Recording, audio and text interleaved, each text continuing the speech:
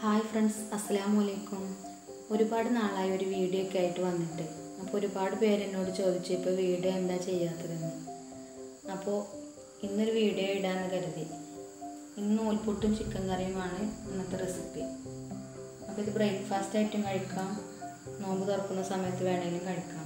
അപ്പോൾ നല്ല സോഫ്റ്റ് ആയിട്ടുള്ള നൂൽപുട്ടും നല്ല ടേസ്റ്റി ആയിട്ടുള്ള ചിക്കൻ കറിയും എങ്ങനെ റെഡിയാക്കാമെന്ന് നമുക്ക് നോക്കാം.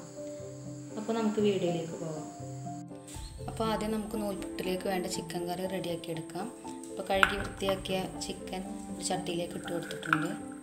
ഇനി അതിലേക്ക് ഒരു ഉരുളക്കിഴങ്ങ് ചെറുതായിട്ട് കഷ്ണങ്ങളാക്കിയിട്ട് ഇട്ട് കൊടുക്കാം.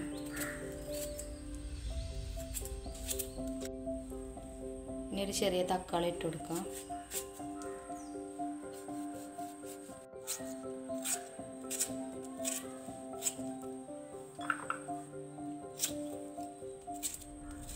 ഇനി ചെറിയൊരു സവാള ചെറുതായിട്ട് അരിഞ്ഞിട്ട് ഇതിലേക്ക് ചേർത്ത് കൊടുക്കാം.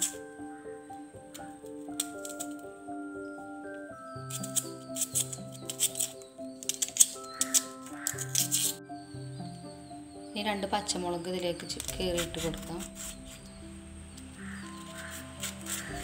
ആവശ്യത്തിനുള്ള കറിവേപ്പില കൂടി ചേർത്ത് കൊടുക്കാം.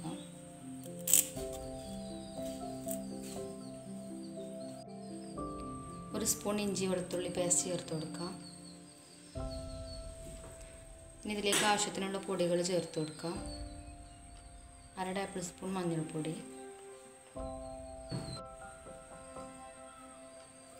രണ്ട് ടേബിൾ സ്പൂൺ മുളക് പൊടി. രണ്ട് ടേബിൾ സ്പൂൺ മല്ലിപ്പൊടി. കാൽ ടേബിൾ സ്പൂൺ ജീരകപ്പൊടി. ഇനി ആവശ്യത്തിനുള്ള ഉപ്പ് ചേർത്ത് കൊടുക്കാം.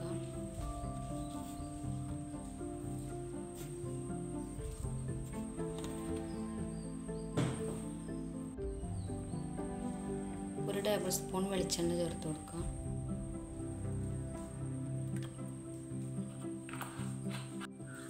ഇതെല്ലാം കൂടെ നന്നായിട്ട് മിക്സ് ചെയ്ത് കൊടുക്കാം.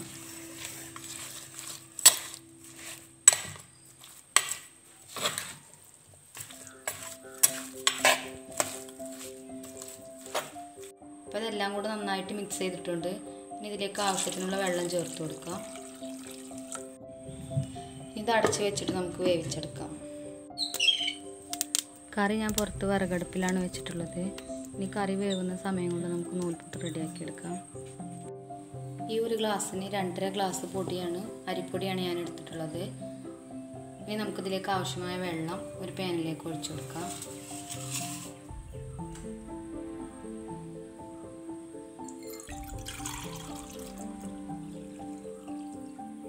രണ്ടര ഗ്ലാസ് അരിപ്പൊടിയിലേക്ക് രണ്ട് ഗ്ലാസ് വെള്ളമാണ് ഞാൻ എടുക്കുന്നത്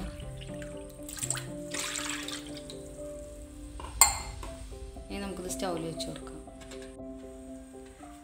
ഇതിലേക്ക് ആവശ്യത്തിന് ഉപ്പ് ചേർത്ത് കൊടുക്കാം. ഇനി വെള്ളം ഇതുപോലെ ഈ കുമിളകൾ വരുന്ന സമയത്ത് നമുക്ക് തീ ഓഫ് ചെയ്ത് കൊടുക്കാം. ഇനി ഈ ചൂടായ വെള്ളത്തിലേക്ക് നമുക്ക് അരിപ്പൊടി ചേർത്ത് കൊടുക്കാം.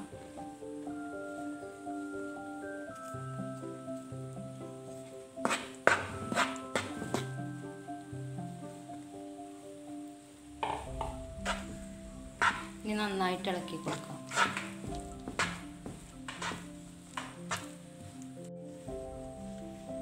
ഇപ്പോൾ പൊടി നന്നായിട്ട് മിക്സ് ചെയ്തിട്ടുണ്ട്. ഇനി നമുക്ക് കൈ വെച്ചിട്ടൊന്ന് കുഴച്ചെടുക്കാം.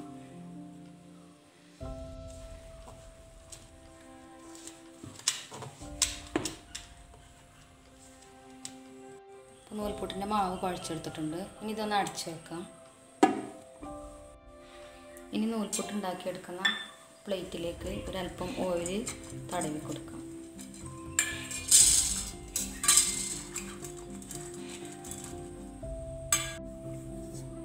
ഇനി നൂൽപുട്ടിന്റെ അച്ചിലേക്ക് ഓരോ സ്പൂൺ മാവ് എടുത്തിട്ട് നൂൽപുട്ട് ഉണ്ടാക്കിയെടുക്കാം.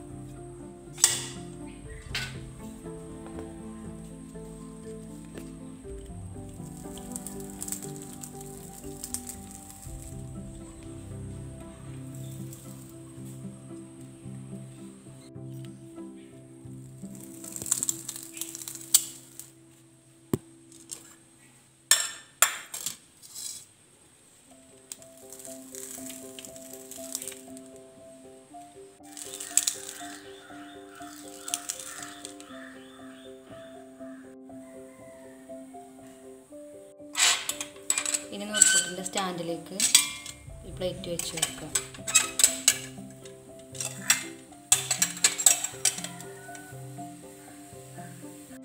അപ്പോൾ ഞാൻ ഇഡലി ചെമ്പിൽ വെള്ളം വെച്ചിട്ടുണ്ടായിരുന്നു. അത് തിളച്ചിട്ടുണ്ട്. ഇനി അതിലേക്ക് നൂൽപുട്ടിന്റെ സ്റ്റാൻഡ് ഇറക്കി വെച്ച് കൊടുക്കാം ഇനി ഇത് അടച്ച് വെച്ചിട്ട് ആവിയിൽ വേവിച്ചെടുക്കാം അപ്പോൾ നൂൽപുട്ട് വെന്ത് റെഡി ആയിട്ടുണ്ട്.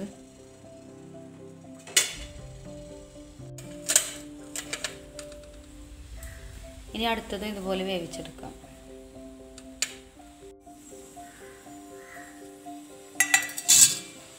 അപ്പോൾ നല്ല സോഫ്റ്റ് ആയിട്ടുള്ള നമ്മുടെ നൂൽപുട്ട് ഇവിടെ റെഡി ആയിട്ടുണ്ട്. ഇനി ബാക്കിയുള്ളതും ഇതുപോലെ ചെയ്തെടുക്കാം.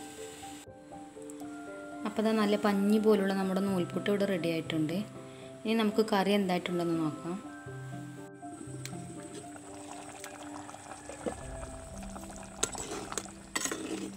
അപ്പോൾ കറി നന്നായിട്ട് വെന്തിട്ടുണ്ട്. ഇനി ഇതിലേക്ക് തേങ്ങ വറുത്തരച്ചിട്ട് ഇതിലേക്ക് ഒഴിച്ചു കൊടുക്കാം.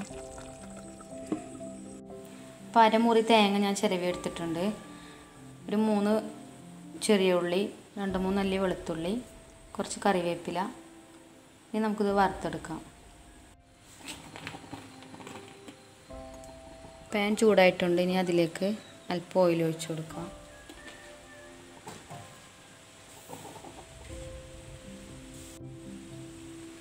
ഇനി പകുതി തേങ്ങ അതിലേക്ക് ഇട്ടിട്ട് വറുത്തെടുക്കാം.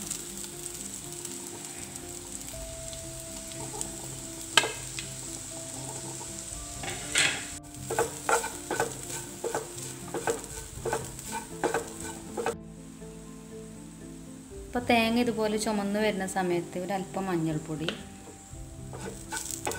ഒരല്പം മുളക് പൊടി അല്പം മല്ലിപ്പൊടി എന്നിവ ചേർത്തിട്ട് നന്നായിട്ട് ഇളക്കി കൊടുക്കാം.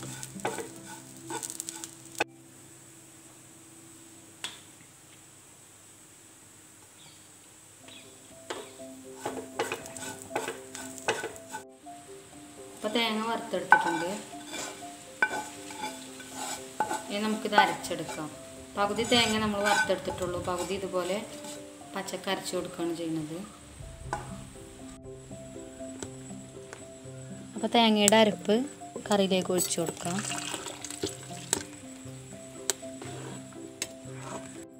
അപ്പോൾ നമ്മുടെ ചിക്കൻ കറി റെഡി ആയിട്ടുണ്ട്.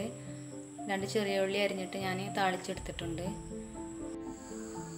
അപ്പോൾ നമ്മുടെ വീഡിയോ ആദ്യമായിട്ട് കാണുന്ന കൂട്ടുകാർ ആരെങ്കിലും ഉണ്ടെങ്കിൽ ഈ ചാനലൊന്ന് സബ്സ്ക്രൈബ് ചെയ്ത് സപ്പോർട്ട് ചെയ്യാം. വീഡിയോ ഇഷ്ടമായ ലൈക്ക് ചെയ്യാം. അപ്പോൾ ഇനി നമുക്ക് അടുത്ത വീഡിയോയിൽ കാണാം. ഇൻഷാ അല്ലാ